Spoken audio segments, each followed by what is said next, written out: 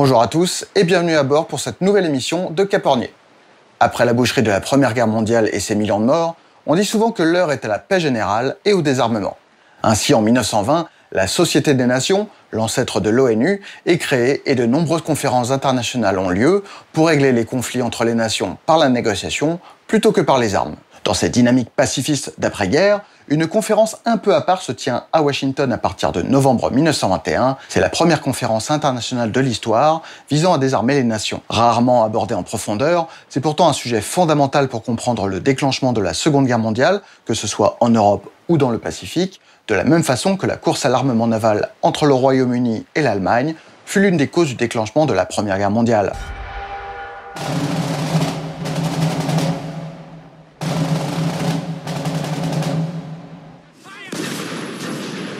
1916, la guerre fait rage en Europe.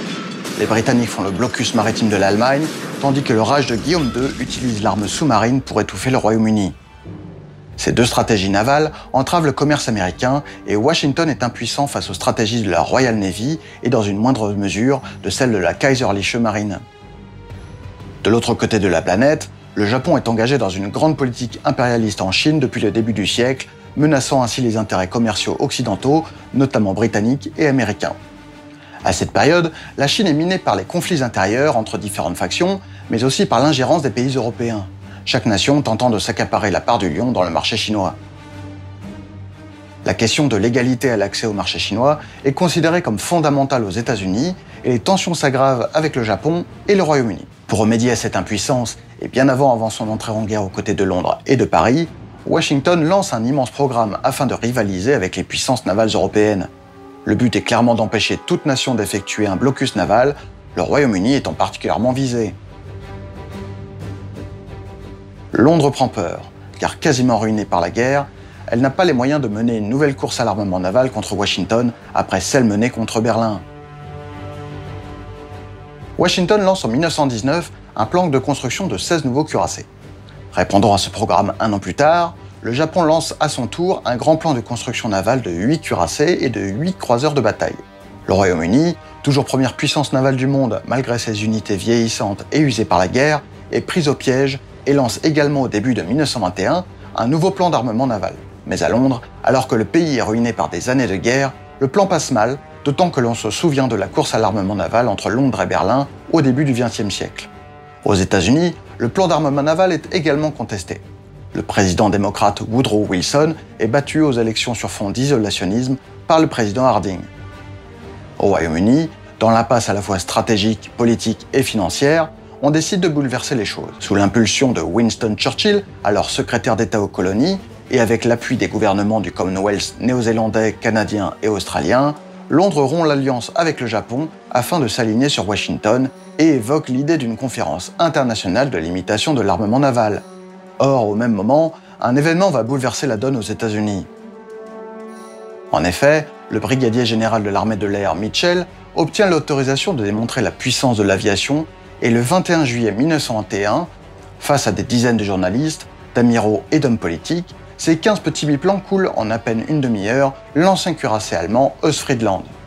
Plus question dans ces circonstances pour le Congrès de voter la construction très coûteuse de dizaines de cuirassés quand quelques avions peu coûteux peuvent les détruire si facilement. Le Congrès américain vote alors une résolution appelant le gouvernement à s'entendre avec le Royaume-Uni et le Japon pour diminuer de moitié le volume des marines de guerre dans les cinq ans à venir.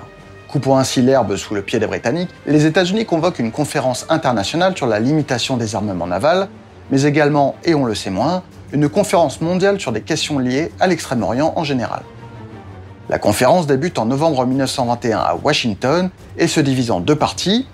Une conférence sur les armements navals entre les États-Unis, le Royaume-Uni, le Japon, la France et l'Italie, et une conférence visant à régler les contentieux commerciaux en Chine avec en plus des pays précédemment cités, la Belgique, les Pays-Bas, le Portugal et la Chine. Je rappelle que le format de la marine allemande est alors limité de façon drastique par le traité de Versailles de 1919, et donc l'Allemagne n'est pas invitée à cette conférence. En 1921, le mariage d'amour entre les anciens alliés est déjà loin et la situation est très tendue en Europe. La guerre civile est à peine terminée en URSS entre les bolcheviks et les Russes blancs, des insurrections communistes ont éclaté ou éclatent en Europe centrale, les Grecs et les Turcs se massacrent, la Pologne et l'Allemagne sont au bord de la guerre, la Pologne et l'URSS sont en guerre pour des questions frontalières.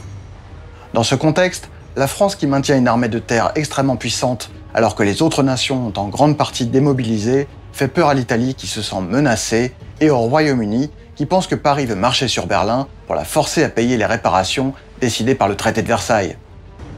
La France, quant à elle, se sent isolée par le refus des États-Unis et du Royaume-Uni de signer le traité d'assistance promis après la guerre. De plus, en 1919, la flotte allemande prisonnière dans la base britannique de Scapa Flow se saborde pour éviter d'être livrée aux Alliés. La France, qui leur niait comme d'autres nations sur les navires de guerre allemands comme réparation de guerre, rend responsable les Britanniques du sabordage. L'Allemagne n'ayant plus de marine de guerre, le Royaume-Uni ne considère plus Berlin comme une menace. Pire, pour Londres, Paris empêche la reprise économique en maintenant des millions d'hommes sur les drapeaux. Revenant à sa vieille politique de lutte contre les hégémonies continentales, le Royaume-Uni considère la puissance terrestre française comme une menace. Au contraire, pour Paris, son isolement diplomatique et les graves troubles continentaux justifient le maintien d'une puissante armée. La France estime que l'Allemagne n'a pas bien compris le message et peut repartir en guerre.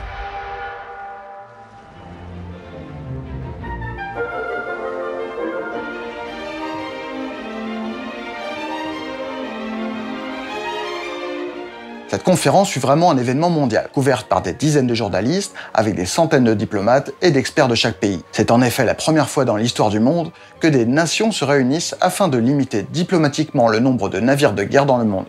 Le président américain Warren Harding fut présent lors de l'ouverture de la conférence, tout comme Aristide Briand, le président du Conseil français, c'est-à-dire le Premier ministre. En ouverture de la conférence, Charles Hughes, le plénipotentiaire américain, présente les propositions américaines. Interdiction pendant 10 ans de construire des navires capitaux, c'est-à-dire des cuirassés et des croiseurs de bataille, et la suspension des chantiers en cours.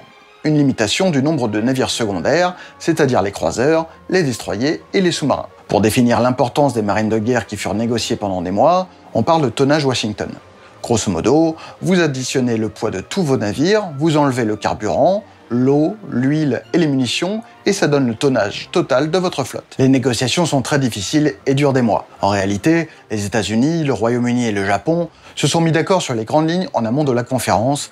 La France et l'Italie sont invitées de dernière minute et mises devant le fait accompli. Le traité de limitation des armements navals est signé en février 1922, les cinq nations se mettant finalement d'accord sur un principe de rapport de puissance. Les États-Unis et le Royaume-Uni ont droit chacun à un total de 525 000 tonnes de navires capitaux. Le Japon, pour sa part, a droit à 66% de ce nombre, soit 315 000 tonnes. Les Français et les Italiens à 30%, soit 175 000 tonnes de navires capitaux. Ce traité limite le nombre et le tonnage des navires à 35 000 tonnes, ainsi que le calibre de l'artillerie principale des cuirassés à 406 mm, le nombre de porte-avions étant lui aussi limité. Les croiseurs sont quant à eux limités à 10 000 tonnes et à un calibre maximum de 203 mm. Alors pourquoi une telle différence entre les nations? Les historiens ne connaissent pas exactement le mode de calcul.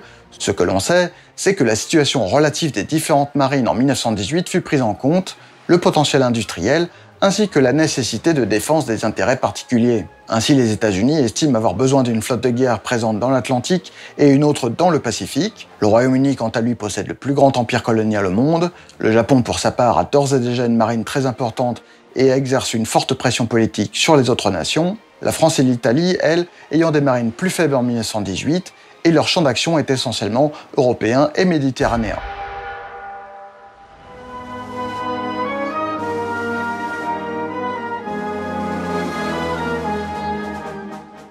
Pour la France, le traité a souvent été présenté comme un échec diplomatique majeur et beaucoup de Français se sentirent humiliés c'est pourtant largement relativisé. La flotte française était très puissante en 1914, mais toute son économie de guerre fut dirigée vers l'armée de terre pendant le premier conflit mondial, pendant que les autres nations continuaient à construire des navires de guerre, notamment les États-Unis et le Japon. Si ce traité avait été un échec, il est possible que la course à l'armement aurait repris entre les États-Unis, le Royaume-Uni, voire le Japon. Ces nations auraient pu construire plus d'un million de tonnes de navires de guerre et la France n'aurait pas pu rivaliser. Ainsi, au lieu d'avoir un rapport puissance de 1 pour 3 par rapport aux États-Unis, elle se serait retrouvée avec un rapport de 1 pour 6. Le traité impose aux nations, mais surtout aux États-Unis et au Royaume-Uni, de détruire de nombreux navires et de stopper les programmes en cours. La France est moins concernée par ces programmes de destruction. Mais la France est particulièrement susceptible à cette période de l'histoire, semi-consciente du glissement de sa puissance relative dans le monde et attachée au symbole, alors que de son côté, le Royaume-Uni accepte de renier sa suprématie navale historique sans faire de vagues, consciente qu'elle n'en a plus les moyens. C'est une décision réaliste, car Londres aurait été incapable de maintenir cette prétention. Les Américains, quant à eux, acceptent de limiter leur potentiel de suprématie au regard de leurs capacités industrielles. La France obtient tout de même, avec l'aide de l'Italie, que les sous-marins et les croiseurs légers soient exclus du traité quand le Royaume-Uni et d'autres nations demandaient l'interdiction du sous-marin.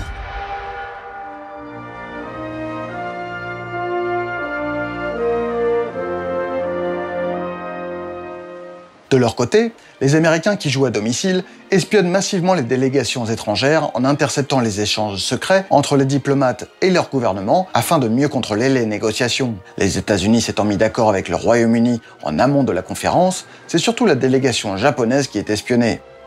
De fait, le traité impose la fin de l'alliance entre le Royaume-Uni et le Japon même si les conseillers techniques britanniques resteront au Japon jusqu'en 1923. Ce traité est une révolution, car l'Empire britannique abandonne pour la première fois depuis des siècles son concept de suprématie navale mondiale. C'est une décision réaliste, car Londres aurait été incapable de maintenir cette prétention.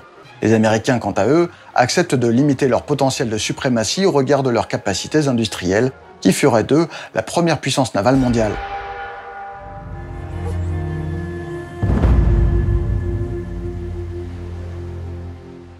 Poussés par la frange nationaliste et militariste du pays, les Japonais luttent férocement pour conserver une grande flotte de guerre. La marine impériale accapare déjà 30% du budget du Japon, qui possède déjà un nombre de navires capitaux équivalent à 55% de la flotte américaine en 1918. Les amiraux japonais étaient persuadés qu'une guerre éclaterait bientôt avec les États-Unis et exigeaient un tonnage égal à 70% de celui des États-Unis. Ainsi, dans l'éventualité d'une guerre entre les deux nations, la marine japonaise serait supérieure en nombre contre la flotte américaine du Pacifique avant que les renforts américains n'arrivent depuis l'Atlantique. Le négociateur Kato Tomosaburo parvient à imposer le traité au Japon, mais celui-ci est source de tensions entre les militaires, les nationalistes et les partisans d'une ligne douce. Néanmoins, les Japonais obtiennent la reconnaissance de leur nouvelle possession dans l'océan Pacifique.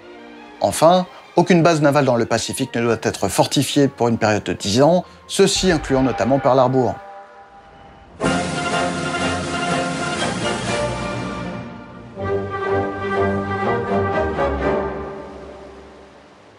L'Italie était une grande gagnante de ces traités, puisqu'elle obtient la parité avec la France, alors que ses besoins de protection sont bien moindres.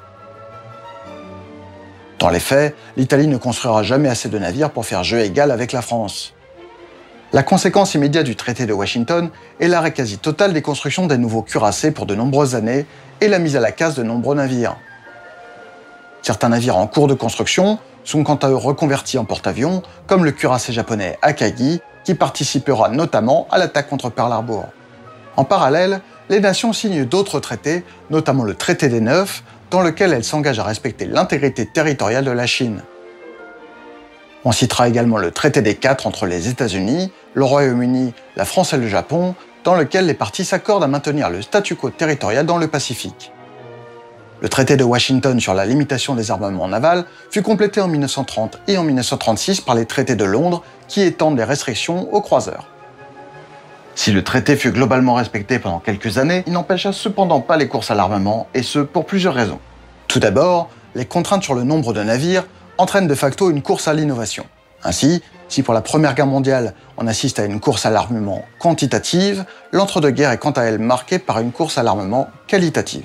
Ensuite, les nations se rabattent sur les navires moins régulés. Ainsi, l'Italie, la France et surtout le Japon lancent la construction de nombreux croiseurs lourds dans les années 20 et l'aéronaval se développe également fortement. Troisième raison, la triche. En effet, pour parer aux limites imposées, certaines nations comme la République allemande ou l'Empire japonais mentent sur les caractéristiques des constructions de leurs navires et comme il n'existe aucun procédé de contrôle international, personne ne peut vérifier les déclarations.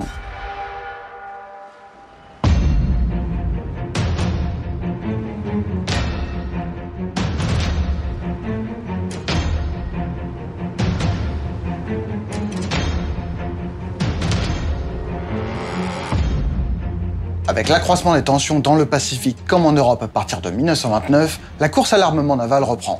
Comme nous l'avons déjà dit, l'Allemagne est sévèrement restreinte par le traité de Versailles de 1919. Ainsi, elle n'a par exemple pas le droit de construire de navires d'un tonnage supérieur à 10 000 tonnes et son nombre de navires autorisés est très faible. Mais en 1929, c'est le coup de tonnerre. Berlin annonce la construction d'un nouveau type de navire aux caractéristiques révolutionnaires, le cuirassé de poche Deutschland. Afin de respecter les contraintes des traités, les ingénieurs allemands ont innové dans le principe même de la construction navale. Ainsi, le blindage est soudé et non rifté, faisant économiser près de 20% du poids du navire. De plus, les traditionnelles lourdes chaudières sont remplacées par des moteurs diesel, faisant économiser de la place et du poids au navire allemand. Armé de canons de 280 mm, doté d'une très grande autonomie et d'une vitesse de 28 nœuds, il ne pouvait affronter les cuirassés classiques, mais surclassait les croiseurs lourds Washington armés de canons de 203 mm. Sa propulsion diesel le dote d'un très long rayon d'action, parfait pour ce qu'on appelle la guerre de course, c'est-à-dire la chasse aux navires de commerce. Avant même l'arrivée d'Hitler au pouvoir, trois de ces navires sont programmés, menaçant ainsi les lignes de commerce dans l'Atlantique et ravivent les craintes en Europe. De façon plus confidentielle, dans les années 20, l'Allemagne construit secrètement des sous-marins aux Pays-Bas et continue ses recherches, bravant ainsi le traité de Versailles. La France, qui sent la menace à la fois allemande et italienne depuis l'arrivée de Mussolini au pouvoir, lance la construction des cuirassés Dunkerque et Strasbourg en 1932 et 1934. Plus rapide que le navire allemand avec 31 nœuds, plus armé avec ses deux tourelles de 330 mm, leurs caractéristiques sont étudiées spécifiquement contre la classe Deutschland. Alors que les cuirassés possèdent généralement une partie de leur artillerie principale à l'arrière du navire, la France décide de grouper les deux tourelles des Dunkerque sur l'avant du navire. Deux raisons à cela. D'une part, les navires allemands et italiens sont rapides et l'on envisage des combats de chasse et donc la nécessité d'avoir le plus de puissance de feu sur l'avant du navire. Et d'autre part, cette disposition permet de réduire la longueur du caisson blindé, faisant ainsi économiser un point non négligeable pour le respect des traités. En Italie, le dictateur Benito Mussolini estime que la classe Dunkerque rompt l'équilibre en Europe et annonce en 1934 la construction de cuirassés de 35 000 tonnes, tonnage maximal autorisé par le traité de Washington. Armés de trois tourelles de trois canons de 381 mm, pour une vitesse de 30 nœuds, leurs caractéristiques surclassent celles des navires français. En Allemagne, Hitler et l'amiral Raeder pousse l'Europe à les laisser sortir des contraintes du traité de Versailles. Hitler veut une marine faisant jeu égal avec celle de la France. Effrayé par les revendications allemandes, le Royaume-Uni, empêtré dans la crise politique et financière, signe un traité avec l'Allemagne nazie, autorisant Hitler à atteindre 35% du tonnage de la Royal Navy et même 45% pour le tonnage en sous-marin. Ainsi, par cette manœuvre, Londres espère contrôler le réarmement allemand. Aussitôt, l'Allemagne lance la construction de deux cuirassés de 30 000 tonnes de la classe Scharnhorst. La France, qui n'a pas été consultée, s'estime trahie par le Royaume-Uni. Elle est désormais menacée par la flotte italienne au sud et la Kriegsmarine au nord et lance en représailles la construction des cuirassés de 35 000 tonnes, le Richelieu et le Jean Bart en 1935 et 1936. Reprenant globalement le dessin de la classe Dunkerque avec son artillerie principale tout à l'avant, la classe Richelieu monte en gamme au niveau de la propulsion et de l'artillerie avec ses canons de 380 mm. Toujours en 1936, l'Allemagne lance la construction de ses propres cuirassés de 35 000 tonnes, le Bismarck et le Tirpitz. Armés également de canons de 380 mm, rapides et précis, ces navires doivent porter la mort dans les lignes de commerce de l'Atlantique et effraient le Royaume-Uni. Le Royaume-Uni lance enfin un grand programme de réarmement naval au début de 1937 avec la mise en chantier de six cuirassés de 35 000 tonnes de la classe King George V avec leur tourelle de 356 mm. De l'autre côté de la planète, le Japon dénonce son adhésion au traité de Washington cette même année 1936, date à laquelle le traité de limitation des armements navals est virtuellement mort malgré les dernières tentatives britanniques. Désormais sans aucune retenue, le Japon relance les recherches concernant leur projet de super cuirassé et en novembre 1937 lance la construction du super cuirassé Yamato. Monstre d'acier de plus de 70 000 tonnes avec des canons de 460 mm, plus gros calibre de l'histoire, le Yamato est le paroxysme du gigantisme et illustre parfaitement la course à l'armement naval de l'entre-deux-guerres. En parallèle des cuirassés, symbole de cette course à l'armement, des centaines de navires de tout type sont construits à travers le monde, croiseurs, destroyers, porte-avions. Malgré les bruits de bottes en Europe et en Asie, les États-Unis sont toujours en sommeil. Un cuirassé lancé en 1937, le North Carolina, et un autre en 1938.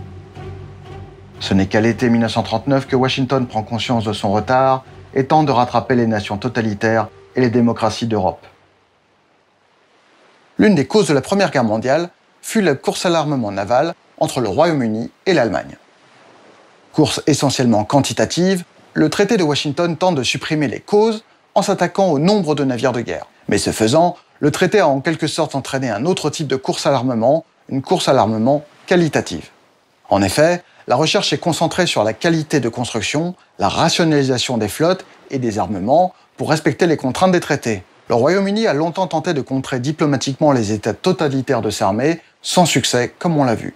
Les manœuvres britanniques se sont même retournées contre elles, car avec la défaite française de 1940, le Royaume-Uni se trouva dans une situation plus que délicate, seul contre la flotte italienne en Méditerranée et la Kriegsmarine en mer du Nord et en Atlantique. Quant à eux, les États-Unis ne réagissent pas face à l'armement du monde. Pendant des années, le traité de Washington a maintenu les États-Unis dans une illusion de sécurité, quand le Japon ou l'Allemagne s'armaient massivement. Empêtrés dans l'isolationnisme et le respect des traités qu'ils ont insufflés, les États-Unis n'ont pas répondu à la menace et n'ont pas non plus renforcé la défense de leur base du Pacifique, dont Guam ou Pearl Harbor.